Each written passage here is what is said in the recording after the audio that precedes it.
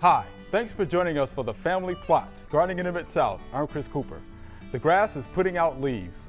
Today we're going to talk about how, with some fertilizer, you can have a lush lawn this summer. Also, last year this time we planted a whole bunch of shrubs in soggy ground. We're going to see how they're doing. That's just ahead on the Family Plot, Gardening in the Mid-South. Production funding for the Family Plot Gardening in the Mid-South is provided by the WKNO Production Fund, the WKNO Endowment Fund, and by viewers like you. Thank you.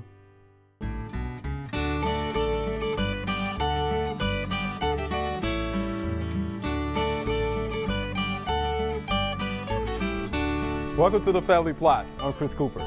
Joining me today is Booker T. Leigh. Glad to be here. Mr. Booker is a UT Extension agent right here in Shelby County, and Joellen Dimond is here. Ms. Jordan is a TSU Extension agent, Tipton County. So thanks for joining us. Glad to be here. Always good to be here. All right. Mr. Booker, Uh-huh. you're our grass guy. Be that grass guy. I know. It's I- that I- time of the year, I right? Love, that time of the year. I love grass. I know you love Yeah. grass. That's why we got you on today, right? So look, just a couple of questions about lawn fertilization. Okay. All right. So the first question is, how often should I fertilize my lawn? Well, most, most lawn grass, you know, in, in, in, in West Tennessee, we got two types of grass here, Zoysia and, and uh, Bermuda grass, and also we have fescue too, though. But and Bermuda grass is the main two that we normally have, right. it's, it's a warm season grass. About three times a year is a good time to put- fertilize those grasses. Now, sometimes uh, nitrogen fertilizer, you don't want to give nitrogen fertilizer too soon. You want to wait to make sure it start coming out. Okay. You give it some nitrogen fertilizer. You don't want to give it a nitrogen fertilizer when it going into dormant season because that's a bad time. You don't want to give it no growth. Right. And also your phosphorus and potassium now, that is good to add to your lawn, but I would just add a whole lot to that because a lot of times phosphorus and potassium can build up in the soil, and you don't want to get it too high. You know, between uh, it maybe something there between uh, on your tip till you medium or low. Right. So don't give it too much phosphorus; it, it stays in the soil. But nitrogen kind of deplete itself out of the soil. You can give it more nitrogen fertilizer. Okay. But about three times a year, then, and a lot of times we like to tell you all the time, though, based on a soil test recommendation. Right, But that's one thing you might want to do that. Okay. But- now, what about fertilizing the Zoysia though? When should we fertilize that? Well, Zoysia fertilizer, no nitrogen fertilizer until June. Until June, Until, yeah, until, it started growing out, you don't want to give it too early. Okay. Because if you give it too early in that June, a lot of time a disease start coming on your lawn. You don't want a whole lot of disease. No, we know in, in, in uh, here in West Tennessee, our grass will get disease on it. and we have a lot of rain this year. We hope that it'll be okay this year. Okay. But uh, don't give it too soon, especially on nitrogen fertilizer. Okay, and that's the Zoysia. The Zoysia okay. grass, yeah. All right. So when is the best time to fertilize your lawn though? The best time to fertilize your lawn is actually when that grass begin to grow. Okay. You know, it, you know, uh, Zoysia grass, Bermuda grass, they grow and they start growing in the springtime. They start tying in. That's a good time to do that. And your fescue, that's a cool season grass. Mm-hmm. It normally starts in, in, in the fall of the year, and that's a good time to fertilize that grass in the fall of the year when it starts, when it actually begin to grow. Now, if you- if you start doing it too early, you can damage your grass by giving it too much fertilizer at the wrong time of the year. And we have a lot of folks that do that sometimes. Oh, wow. Just go out there and start fertilizing your lawn, and, and, and, and it's the wrong time. Right. If that grass start putting out early, and if before before and they have another cold spell, it could damage that grass, especially, especially the warm season grass. Okay. Mm-hmm. Uh, mm-hmm. Yeah. Good, good note right there. Yeah. Okay. Mm-hmm. All right. So we're talking about we're talking about fertilizer. What's in the fertilizer bag though? Now, people to go buy that fertilizer bag, you need to know what you're putting down Right. in, on in bag of fertilizer. You really have you have a complete fertilizer, and then you have incomplete. Okay. When I say complete fertilizer bag, you got all three major nutrients in there: your, nitrogen, your phosphorus, and potassium. Okay. Incomplete fertilizer, you might have just one of those numbers be missing. You might have nitrogen, phosphorus, no potassium in that bag. It all depends on what you want to do to your lawn. We know Bermuda grass, on Zoysia only, as a nitrogen only do one thing for your lawn. It turn it green and make it grow. and, uh, Right. and you want to get that to it, that, that's what's in the bag of fertilizer. You know, if I want my grass to grow real pretty and green during the growing season, I give it more nitrogen fertilizer. Right. But then start in the fall of the year when it start going dormant, hold back on your nitrogen fertilizer and give it some phosphorus and potassium. Okay. It protecting the root system from diseases and also making a stronger root system when you're going into the winter months. So what you do, then you then then fescue. And You want to nitrogen start in the fall of the year with that, Right. with, with the nitrogen fertilizer in there. But in a bag of fertilizer, you have nitrogen, phosphorus, and potassium, and those are the main three elements gonna be in a bag of fertilizer. And it might, like I said, one might, might be missing. Might have nitrogen and no phosphorus. Might mm-hmm. have phosphorus and potassium and no nitrogen. It's all depending on what come back with your soil test. Okay. Mm-hmm. All based on the soil. Maybe on the soil test. That's right. All right. So how do I select the right fertilizer for my lawn though? that when, when, when, the, when you do your soil test and it come back to you, they'll tell you what to put down on there. Okay. You know, they said nitrogen, phosphorus, potassium, how much, how much to put down. And when you start putting that fertilizer down on there, you want to make sure you get a good coverage on that on that lawn. You want to go and do it in two directions. Mm. If you said put 20 pounds down on your lawn, you want to go 10 in one direction and 10 in the direction. You want to get a full coverage of that lawn. Right. If not, you can you, you can miss spot, and you can tell when you miss spot in your lawn. you might have light green, mm -hmm. a dark green in there and stuff in there, but you want to go different direction. Okay. And, and, and, get all that fertilizer down in there. Okay. Mm. Let's mention this though. When people are putting out the fertilizer, let's make sure that you know if they get it on the sidewalk or the driveway or something like that, that they actually sweep it you know, up and put it back in the lawn though. It's good because a lot of times you, you, see that a lot of times mm -hmm. people use these these spreader, put it out over there, and you see a lot of fertilizer mm -hmm. on your driveway, and that's not doing any good because what don't have when it rains, and get that's down right. to in, in, in, the sewage and water line or whatever, that's not good for them put it back in, the, like like you said, put it back, get your broom or something, sweep it up, or put it back into the into the lawn That's where right. it needed, where it needed. That's right. You, you, want it on you want it on the grass. That's right. Not on the sidewalk. Right. Mm -hmm. You're not in our storm water. not storm you know, water drainage systems, right? Right. Because mm -hmm. there's fish at the end of that. Mm -hmm. All right. So we talked a little bit about the soil test. So why should I have my soil tested, right? Because we always mention soil tests. A lot of times people they start adding stuff to the lawn. They don't know what they don't know what's in it. They don't know what they're doing to it. And I tell you, you wouldn't add you wouldn't add oil to your car without checking it. And that's the same thing by doing a soil test. You don't want to add fertilizer thing to your soil without testing it, because you, like I said, phosphorus and potassium can build up. Mm -hmm. You don't want to get it too high in there. And on your soil test, it'll come back and tell you in there. Then another thing, you're trying to look at the soil pH. The pH is one of the most important things mm -hmm. in your soil test. If the pH is off, the nitrogen your phosphorus and your potassium not going to be used by the plant. Mm -hmm. It just don't stay into the soil. For most lawn grass, we have Bermuda grass, Zoysia grass, and your fescue lawn. They require a soil pH between 6.0 and 6.5. Okay. So then, and on your soil, test, when it come back, it'll tell you that. Now, if it's too low, they'll tell you add lime to it. If it's too, if it's too high, they'll tell you add some elemental sulfur to your soil to bring it down. But I said, you, you, your main thing is your soil pH. Nitrogen, they, they hardly give you a reading on your nitrogen too often. Right. Because nitrogen don't stay in the soil too long. That's right. It's come in and go away. But check very closely when they give you when they tell you on your soil on your pot on your phosphate and potassium. Because that can build up in the soil. Mm -hmm. But on that soil to report, if you don't need any, that's why you might need an incomplete fertilizer. You might right. need to add nitrogen to your fertilizer and no phosphate and potassium. It might come back real low very low phosphorus potassium. But then on your nitrogen, it, it, might be a lot of nitrogen. Then it might tell you no nitrogen fertilizer sometimes, phosphorus potassium. So you might have an incomplete, a complete fertilizer. That's why I said on a bag of fertilizer, you have a complete bag of fertilizer, incomplete. From the grass guru himself. Thank yeah. you, Mr. Booker. We appreciate that. I enjoyed it. Always good to be All on right. the show. All right. There are a number of gardening events going on in the next couple of weeks. Here are just a few that might interest you.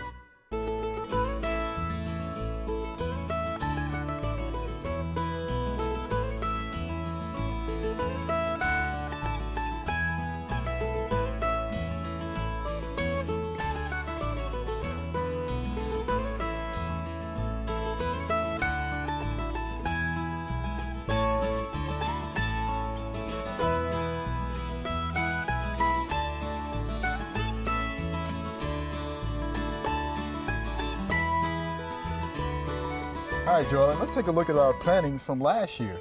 Yeah, last year at this time, it was really hot. yeah, I remember that. Uh, I think the season was a little early last mm -hmm. year. All of these trees were leafed out. I do remember that. And it was hot when we were planting. This year, not the same. Ah. It's a lot cooler than it was. And, and in fact, the, the trees aren't even finished leafing out. Yeah, that's right and it's, it's a little late in spring, but and everything's just showing a little bit behind. But we're going to go ahead and see how things are going. Okay, yeah, let's check it out. Now, you notice there's a lot of spots on there, but the new foliage mm -hmm. is what I look at, and it looks good. Yeah. In fact, it's actually blooming. It's a nice flower. Okay. Uh, and then the, the, the, leaves will that are damaged will probably fall off and the new leaves will come on. Uh, but we'll keep watching it, of course. Okay. Yeah, this is not a bad sign because it's No. the older leaves. Older. You know, as, as long as the new foliage is fine, we're good. It'll be fine. Okay. Next, we have our Yaupon hollies Yeah. here. And you notice they aren't as tight because they've grown. That's right. so they they they seem to be very happy in this environment. So it's working out pretty good for them, huh? For the It most part? is. Okay. It is new nice growth. new foliage on them. So I think they're going to be fine. And then uh, next of our spireas. Wow. They've grown quite a bit Yeah, too. filled out. Really filled out. They must be happy here. But I don't know if you notice it, but there's aphids covering all the new Oh, yeah. growth because aphids love new growth. But as you can see, there's the predators here too. That's right. So we would not spray these because we've got beneficials that are taking care of the aphids so we don't have to spray. Good. Yeah. Those are the larvae of a lady beetle. Lady right? beetles. And of course, they love to eat aphids. They So sure it's good do. to see them. It's good to see them. Very good. Good sign. Okay. So overall, what do you think about the plant itself, though? I think it's doing great. It's doing good. Okay. And you notice that the flower buds are ah, starting see to that. form Okay. on them I too. see that. So everything looks good. Okay. And well, let's look at the uh, Ogon sweet flag. Okay. and it's doing fairly well. It's- It's a little worse for wear because you know we had a really cold winter. We did. So we did. it's it's reflecting that. A little tattered, It's it's blooming too. Right. These blooms, so it's quite healthy and growing, Okay. And it will look better as the season progresses. So we don't have to, you know, come in Don't- and trim anything off or cut anything Um, back. Yeah, I guess you could if you want to, but you really, from a distance, you can't notice it. So Sure. I usually don't mess with things, Mother Nature. Let them come out and do what they want to do and, and cover all of that. Okay. They look really nice, and they've gotten bigger. Uh, some of them not as big as others, Right. but you know, overall, they're doing very well. Okay. And then we have our daylilies, Stella de Oro daylilies. Boy, have they gotten big since we planted good. them. They really look good, and they're starting to bloom also. So that's very, very nice. Nice green leaves. Very Mm-hmm. lush. Uh, then we've got our cannas that we transplanted that were here in one clump. I remember. We've transplanted them into three clumps, and they have grown nicely have. and coming out very well. So that's very encouraging. That transplanting went well. And lastly, we have our plumbago. Uh, some of them are starting to come out and do very well. Others are kind of behind. We don't see any life coming out of them yet, but it's early. Mm. Right. So no So, concern. No right? concern Okay. for now because you know even the trees aren't finished being leafed This out. true. So we just haven't had the warm weather like we had last year. This is right. Yeah, it's definitely been wet and cool. Wet and cool, which is very unusual for this part of the sure is. country. Yeah. Okay. So overall, what do you think about the plantings? I'm very pleased. I As as wet well. as this bed was when we started and still is, Yes. I think everything has done very, very well. We picked wisely and picked some good yeah. plants that could stand this kind of environment. Yeah. Well, we followed your lead, so we thank you for the plant selection. You're welcome. Because this is definitely soggy ground, right? Soggy, very soggy. We do have some weeds growing up, and they look like seedlings from you know trees and things like that. So, what do you think the best way is to get rid of those? Well, it could be easy to pull them up because, you know, there's a large, deep layer of mulch here, so they're not rooted in the ground very much This is true. so far. Okay. So you can do that. Or, you know, there's some people that would put glyphosate on a wick and Uh-huh. just touch them. And that would get rid That's- of them also. So there's there's just different ways to do that mechanically, or just touch them with um, a wick of uh, some glyphosate. Okay, I would agree with that. And ag- again, soggy ground's been moist. I mean, it easily Easy to up. pull up, Right, yeah. easy to come up there. And there's not very many of them so far. So. Not that many. Again, just little seedlings and little annual winter weeds that I see. Mm-hmm. So it should be fine. It'll be fine. All right. So thanks, Joellen. We appreciate that. All right. No problem. All right.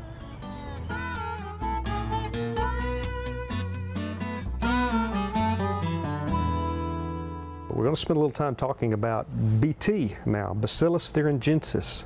again, BT is a lot easier to remember. Uh, this product is one of the greatest insecticides out there on the market. It uh, has been around for a lot of years, and the reason that it is so good is that it targets a, one specific type of insect. It only kills caterpillars, uh, insects in the insect order Lepidoptera. And uh, it is a stomach poison. It uh, works by the insect actually has to ingest some of the BT and it uh, will cause the insect to develop a really, really bad stomach ache and die. Um, but you will actually see some damage on the plants, uh, and you have to see a little bit of damage for this material to work. But it does not kill any of the beneficial insects. It, it does not uh, adversely affect humans. I want to talk a little bit about uh, different formulations. Bacillus thuringiensis.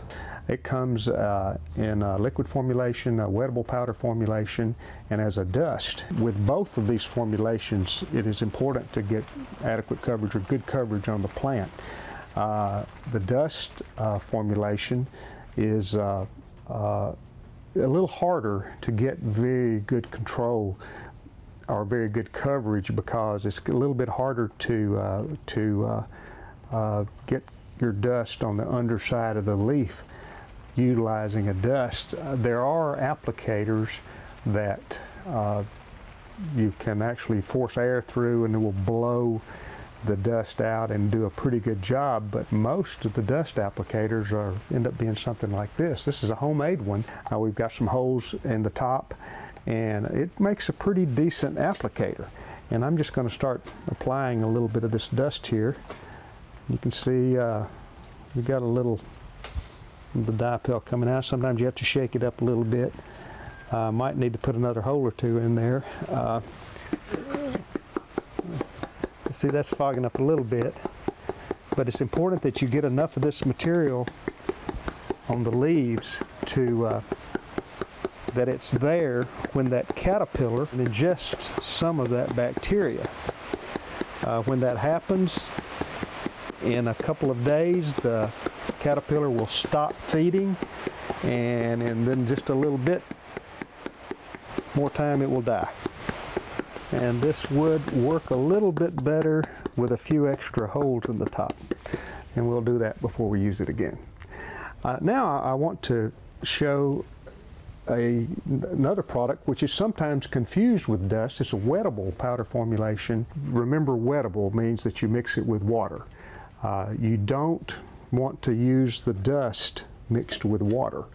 The concentration uh, of the dust is a lot less than the concentration of a wettable powder formulation. So the wettable powder, in this case, we have already mixed up, and, and with a wettable powder, sometimes they are harder to stay in suspension than some of the ECs or emulsifiable concentrates. But uh, so when you have a, this one is, is in suspension really good now, and uh, so you keep it shook up, and uh, as I mentioned with the dust, it's very important to get uh, good spray coverage. Uh, and you want the upper and lower side of the leaves covered. And it's a little hard to do. You have to kind of get on the inside of the plant and shoot out. And most of the recommendations when you're applying any pesticides is spray to the point of runoff. And you can see that's happened right there. I don't need to put any more material on the leaf right there because it is already running off. Well, I hope this uh, makes you uh, better understand how to properly use Bacillus thuringiensis BT.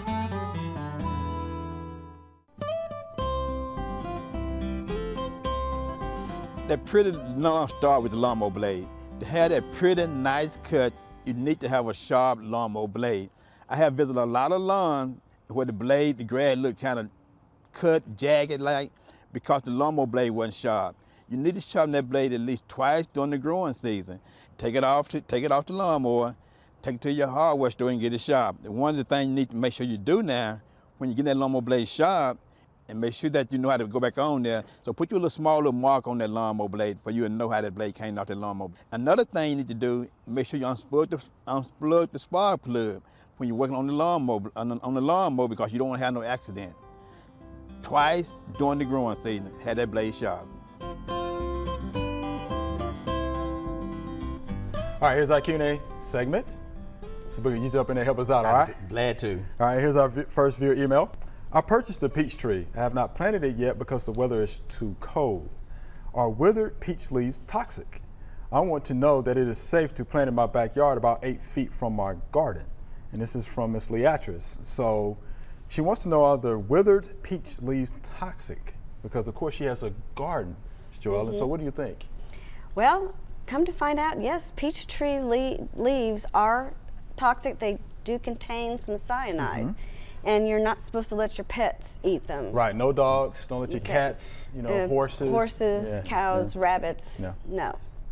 Uh, but now, eight feet from her garden, is that, I'm more, I'm more concerned if it's going to shade her garden. Oh, interesting, okay. And it depends on what kind of garden she has, too. right. Yeah, so, right. Um, but when the leaves drop off the peach tree, I would tend to want to collect them because of all the disease problems that are prone to peaches and collect them and put them either in its own place in the compost pile or just destroy them. Mm -hmm.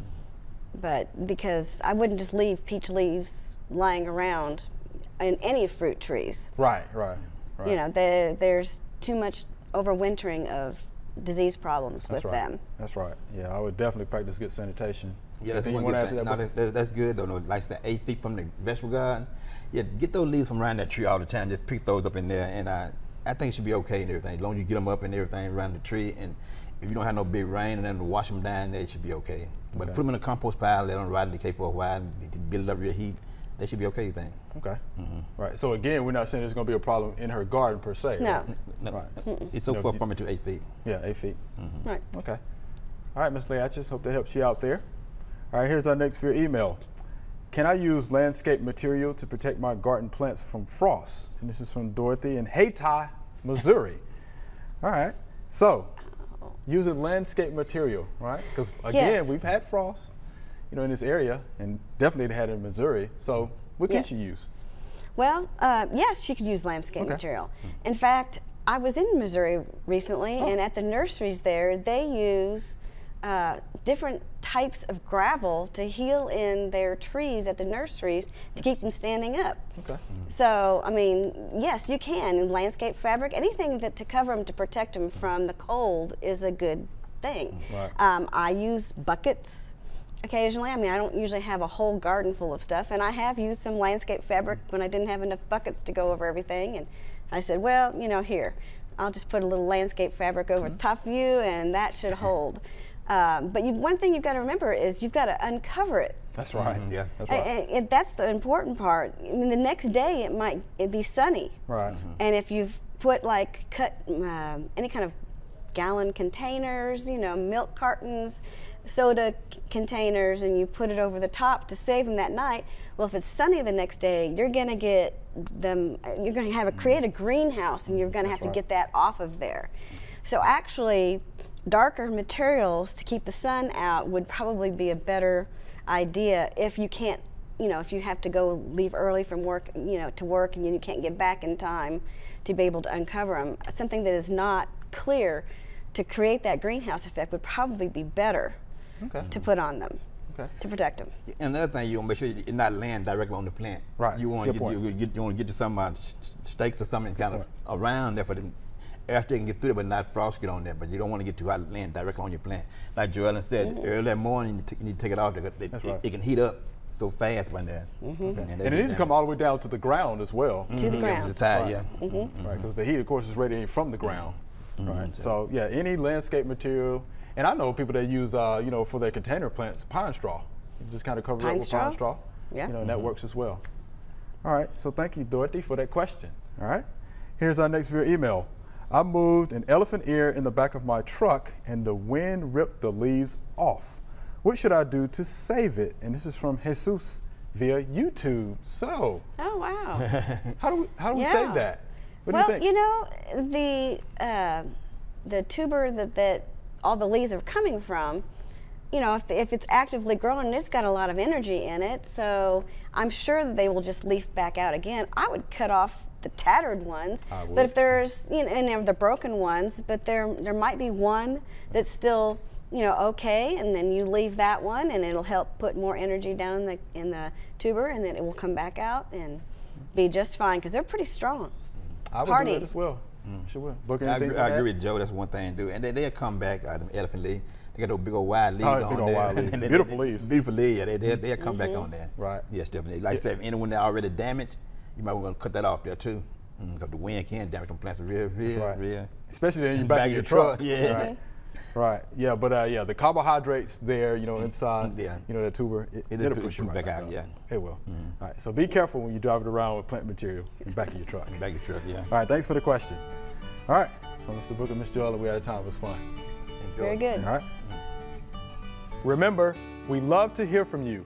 Send us an email or letter. The email address is familyplot at wkno.org and the mailing address is Family Plot 7151 Cherry Farms Road, Cordova, Tennessee 38016. Or you can go online to familyplotgarden.com. That's all we have time for today. Thanks for joining us. If you would like to see the video of Joellen planting the shrubs we checked up on, or get more information about fertilizing your lawn, go to familyplotgarden.com. While you're there, you can also ask us your gardening questions. I'm Chris Cooper. Be sure to join us next week for the Family Plot, Gardening in the Mid-South. Be safe.